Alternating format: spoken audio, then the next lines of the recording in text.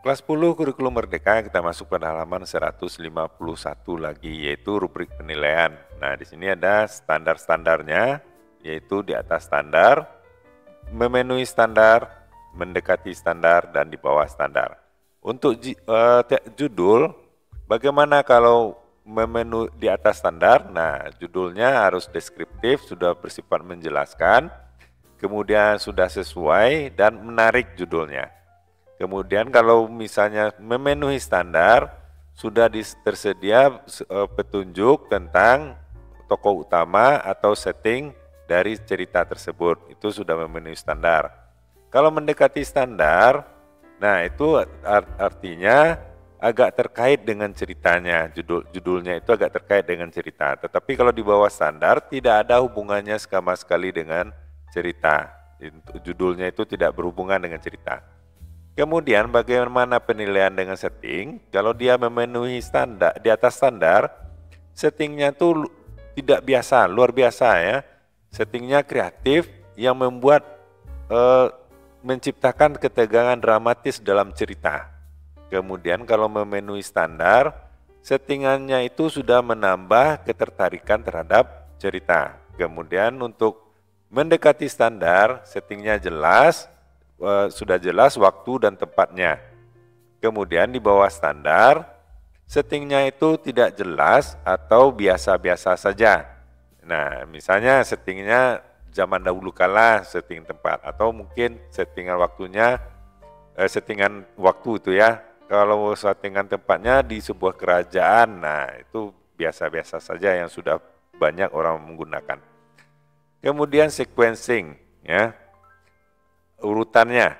Kalau di atas standar ada kata-kata transisi antara peristiwa-peristiwa dan urutan dari dari awal hingga akhir. Dan untuk memenuhi standar, urutannya itu sudah berurutan dengan baik. Dan untuk mendekati standar, peristiwa-peristiwanya sudah berurutan, tetapi masih ada gap-gap atau ruang-ruang kosong dan di bawah standar. Ya, sequencingnya itu tidak jelas karena peristiwa-peristiwanya itu tidak di, dibuat secara berurutan.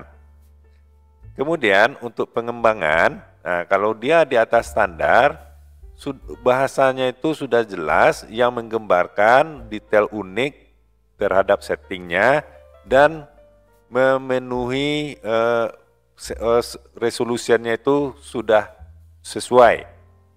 Kemudian memenuhi standar ada beberapa detail yang menarik. Kemudian kalau uh, mendekati standar, detailnya sedikit tetapi uh, berulang-ulang. Sudah ada cukup detail ya, tetapi disampaikan secara berulang-ulang.